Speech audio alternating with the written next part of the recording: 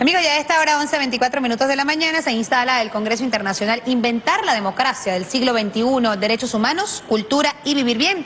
Ahí está nuestra compañera María Mercedes Noguera para traernos los detalles. María Mercedes, adelante, buen día, te escuchamos.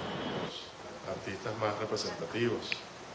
Sí, gracias. El día de hoy se instala el primer Congreso Internacional Inventar la Democracia del siglo XXI, Derechos Humanos, Cultura y Vivir Bien.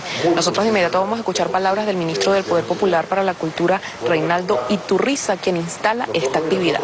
Intelectuales, artistas, luchadores y luchadoras sociales en defensa de la humanidad, reunidos en Caracas, Venezuela, proclamamos.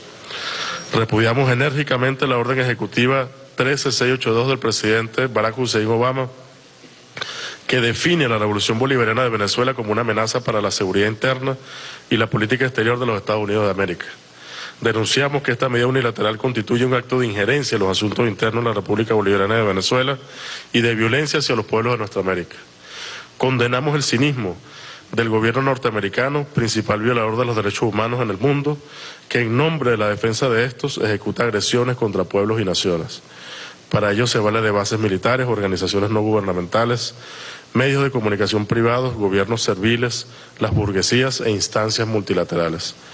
Llamamos, así cerraba, llamamos a los pueblos de América y el mundo a mantenernos en movilización permanente hasta lograr la derogatoria y reversión de la infame orden ejecutiva 3682, 13682 a través de la creación de un Consejo de Solidaridad que articule las organizaciones o movimientos sociales nacionales y locales hasta obtener la derrota definitiva del imperialismo y alcanzar que América Latina y el Caribe se consolide como una zona de paz. Caracas, 7 de abril de 2015.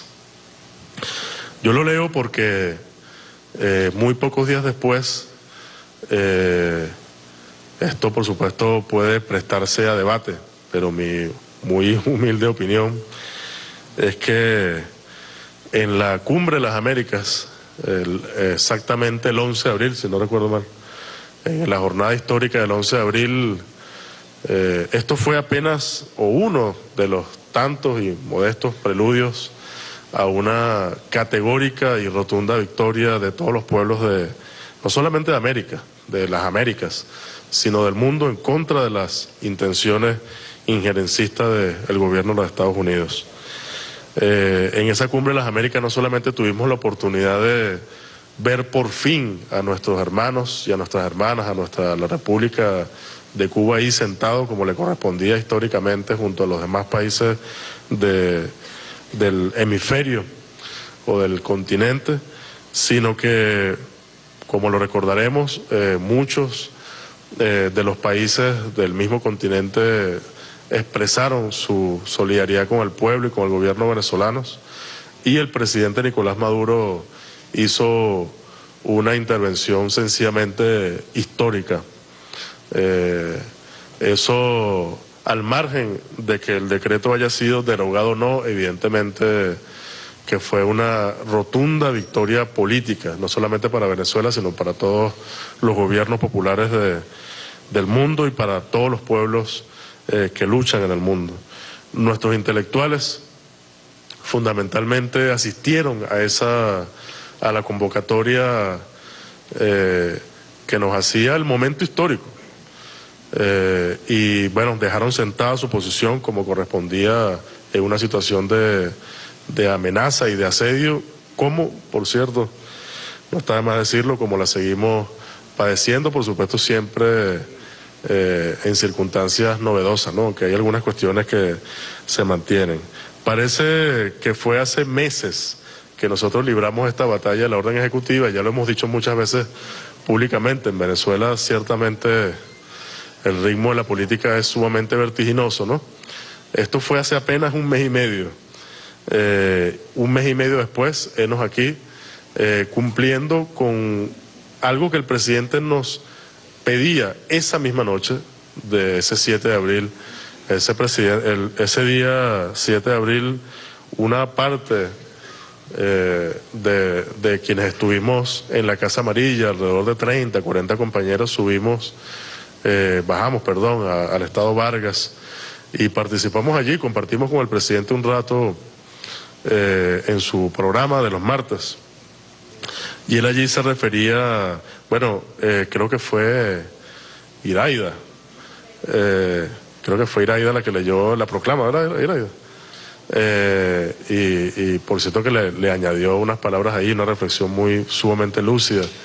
Y entonces el presidente, bueno, hacía un reconocimiento pues de la, del contenido de la proclama y, de, y en general de la actividad, y ahí nos mandaba, como nos los ha mandado ya en varias oportunidades, eh, el que haya hecho seguimiento del tema, saben que el presidente es un, está particularmente interesado en este asunto, ahí nos mandaba a seguir construyendo el intelectual colectivo que es el pueblo de Venezuela.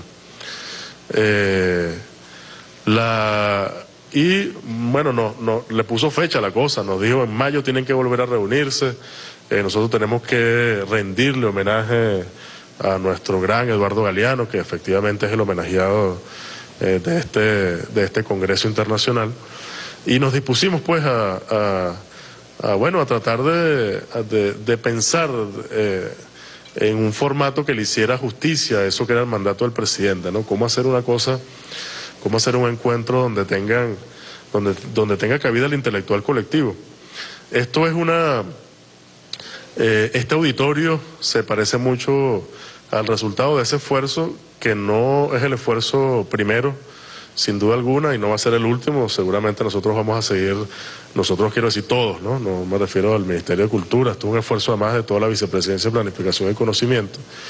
Eh, pero creo que eh, es, un, es, una, es una hermosa concreción de lo que es una aspiración del presidente, ¿no? que, construyamos espacios cada vez más eh, plurales, con la pluralidad obviamente todos estaremos de acuerdo, no amenaza a nadie, todo lo contrario, nos hace más fuertes, ¿no?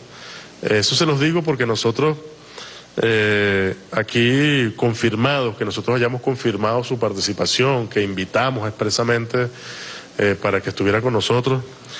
Aquí hay 76 intelectuales eh, de varias partes del país. Hay 87 militantes del movimiento popular en sus diversas expresiones.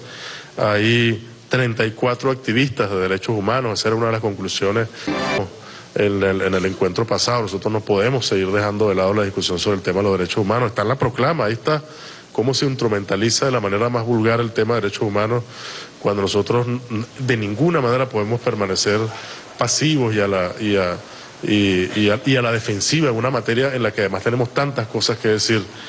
Eh, hay 33 artistas entre nosotros. Y ahí, esta yo diría que, que es la, como la victoria la más, lo que más nos ha costado y sin embargo, bueno, yo celebro que haya 28 científicos entre nosotros. Eh, es, un, es un sujeto Escuchamos parte de la intervención del ministro del Poder Popular para la Cultura, Reinaldo Iturriza, durante la instalación del primer Congreso Internacional Inventar la Democracia del siglo XXI, Derechos Humanos, Cultura y Vivir Bien, que se desarrolla en los espacios de la Biblioteca Nacional en Caracas. Es la información, nosotros vamos a retornar el pase al estudio. Adelante. Gracias a nuestra compañera María Mercedes Noguera desde acá, de la ciudad de Caracas, atento al desarrollo de esta actividad que se lleva a cabo a esta hora en nuestra ciudad capital.